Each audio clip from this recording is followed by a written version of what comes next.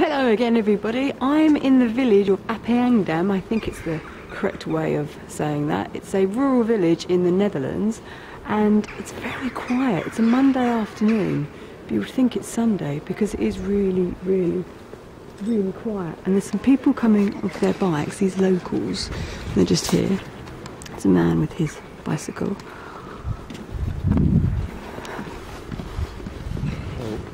Hello.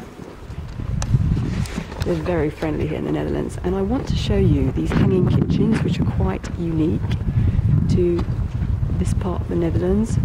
And what they are is they're extensions. The lady in the flower shop over there actually showed me her window, which was really sweet. But these are these hanging kitchens that this village is, is famous for. And it's a beautiful day. You wouldn't think it's a winter's day, but the temperature's a bit, bit icy, but it's all right. But these are the hanging kitchens that this village is famous for and you can hear a lot because everybody's echoing because it's so quiet.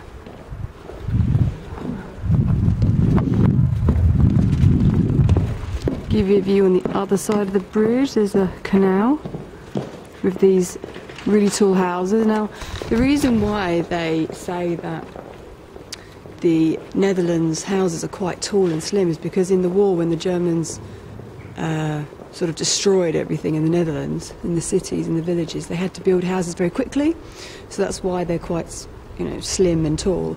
And they were actually taxed on how many windows they actually had, which was quite interesting. But you get some really, really cute little houses here, and they're kind of like matchbox houses, like doll houses. So the architecture in the Netherlands is quite, quite aesthetically pleasing, should we say. So here's some more. There's a Dutchman fishing down there. Good, nice evening, afternoon, should we say? And so, yeah, I'm going to have a little bit more of an exploration around this village. It's very, very serene and quiet, though, which is a big difference from Amsterdam. Um, and uh, we'll see you later. Thanks for watching.